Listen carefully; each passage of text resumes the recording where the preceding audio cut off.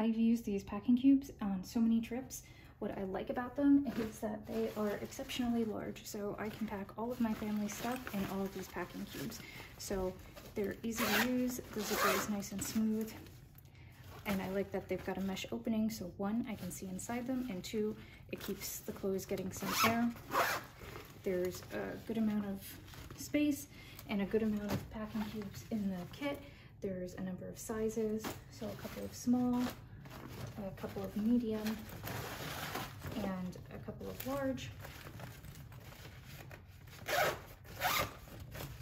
I've owned these since 2019 and it's 2023 and they are holding up really well and we travel a couple of times a year.